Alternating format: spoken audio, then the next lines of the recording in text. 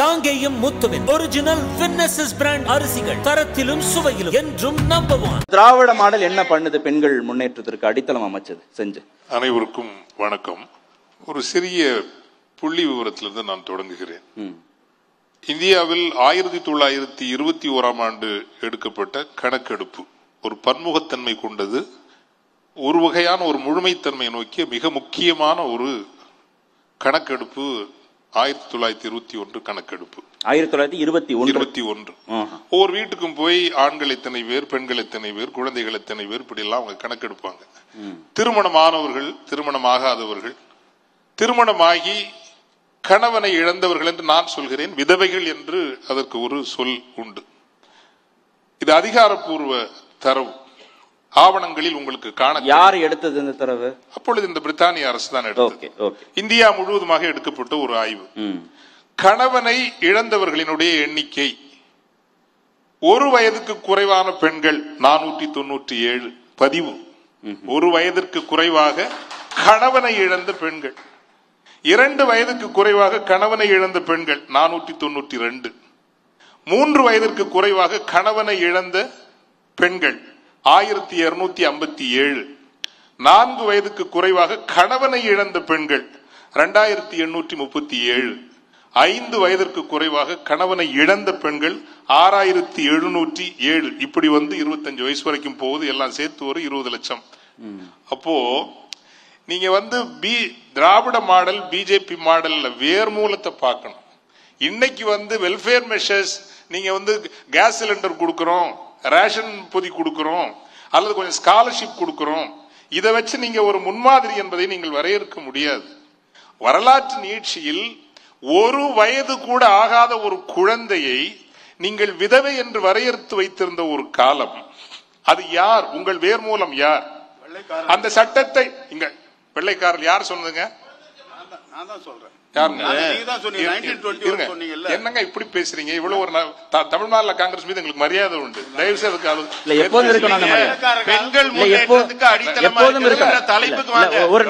நீங்க- பிரிட்டிஷ் காலத்துக்கு ஏன் போறீங்க? என்ன சொல்ல? கேட்போம், என்ன சொல்ல வர்றாரு? கடல்ல நடக்கிறாரு அப்பம் பங்கிடுறாருன்னு கதைக்கெல்லாம்? கண்ணா சார், நம்ப. முடியுமான்னு கேக்குறேன். கடல் மேல நடக்கிறாரு அப்பத்தை பங்கிட்டு கொடுக்கறாரு மீனை கொடுக்கறாரு ஒரே ஒரு அஞ்சு வச்சுக்கிட்டு ஸ்ரீகாந்த் கண்ணா இந்த. காலத்துக்கு சார். வருஷமா பிஜேபி இருக்குல்ல? ஸ்ரீ- அத பத்தி சொல்லுங்க. ஸ்ரீகாந்த் கண்ணா சார் மத மத அடிப்படையிலான தாக்குதல்கள் தேவையில்லை.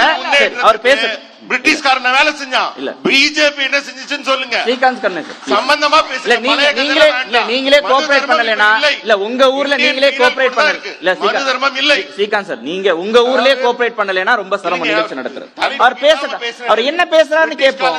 என்ன பேசுறாருன்னு கேட்போம். இல்ல பேசிட்டு கேட்போம். அதாவது மேடம் மேடம் அவர் பேசுறேன் பேசுறேன் இல்ல நான் சொல்லிட்டேன். மத மத ரீதியிலான தகவல் வேண்டாம்னு சொல்லிட்டேன்.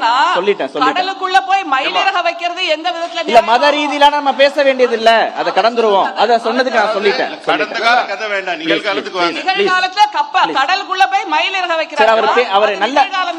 அவர் புள்ளி வரம் சொல்ல வரதை அலோவ் பண்ணுவோம் நம்ம. ஓகே ரெண்டு பேருக்குமே சொல்லிக்கிறேன். உங்களுக்கு சொல்லிக்கிறேன் அவரும் சொல்லிக்கிறேன். ஒரு அரங்கில் முதல் சுற்றில் ஒவ்வொருவருக்கும் மூன்று நிமிடம் நான்கு நிமிடம் என்று கொடுக்கப்படுகிற பொழுது அதை அதை வீணடிக்க அரங்க ஒழுங்கை கூட நாம் பேண முடியவில்லை என்றால் என்ன விவாதம் நடத்த முடியும்? ஒரு சமூக மாற்றம் என்பது எந்த முன்னேற்றமாக இருந்தாலும் மூன்று திசைகளில் முன்னெடுக்கப்படும். ஒன்று அறிவு ரீதியான கருத்து உரையாடல்கள் தர்க்கங்கள். இன்னொன்று அரசியல் அதிகாரம் சார்ந்த சட்ட திருத்தங்கள். மூன்று பண்பாட்டு ரீதியாக நிகழ்த்தக்கூடிய மாற்றங்கள். இந்த மூன்று திசையிலும் தான் நீங்கள் முன்னேற்றத்தை நோக்கி ஒரு சமூகத்தை நகர்த்த முடியும். அப்படி பார்க்கிற போது இப்படி வந்து ஒரு வயது குழந்தையை கூட நீங்கள் விதவைகள் என்று வைத்து அந்த குழந்தை குழந்தை மர்மணம் அல்லது குழந்தை மனம் என்கின்ற அந்த முறையை முடிவுக்கு கொண்டு வர முயன்ற போது அதை தடுத்து நின்ற இந்து மகாசபையினுடைய நீட்சி தானே பாரதிய ஜனதா கட்சி. இல்லை யாரை சொல்லக்கூடாதா? அல்லது விதவைகள் மறுமணம் என்று வந்த பொழுதோ அல்லது தேவதாசி முறை ஒழிப்பு என்று வந்த பொழுது எந்த வழித்தடத்தில் வந்தது? சுயமரியாதை வழித்தடத்தில் தானே இது வந்தது இல்லையா?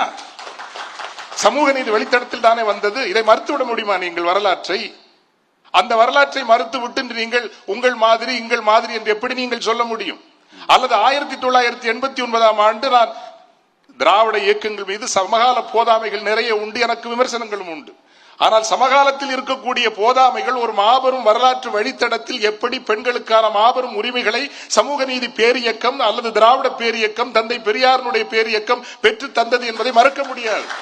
இல்ல இந்து மகா சபையில இருந்து பாரதிய ஜனதாவாக அரசியல் அதிகாரம் பெற்ற ஒரு கட்சியுடைய பார்வையாக இதை நம்ம வந்து பாத்திர முடியுமா? அவங்க ஒரு அப்படித்தானே இருக்கும் இல்லையா? வேர்மூலம் அப்படித்தானே இருக்கும்? இல்ல அவர் ஒரு இருபது திட்டத்தை நான் பட்டியலிட்டேன். எல்லாமே பெண்களின் வளர்ச்சிக்குன்னு சொல்றாரு இல்லையா? இல்ல அது இன்று இருக்கக்கூடிய welfare measures it's your compulsions எந்த கவர்மெண்டாலும் சொல் செய்துதான் ஆகணும். வரியை பிரிக்கிறீர்கள் நீங்கள் வாக்கு பெறுவதற்காக மக்கள் ஆதரவை தக்க வைத்துக் கொள்வதற்காக நலவாழ்வு திட்டங்கள் அல்ல. அடிப்படை கொள்கைகளில் என்ன மாற்றங்களை கொண்டு வருகிறீர்கள்? அப்போ ஆயிரத்தி தொள்ளாயிரத்தி எண்பத்தி ஒன்பதாம் ஆண்டு அவ்வளவு இறுக்கம் இருந்த போதும் கூட பெண்களுக்கு சொத்துரிமை என்று கொண்டு வந்த சட்டம் எவ்வளவு பெரிய சட்டம் அது? அது சாதாரண திட்டமா? சரி.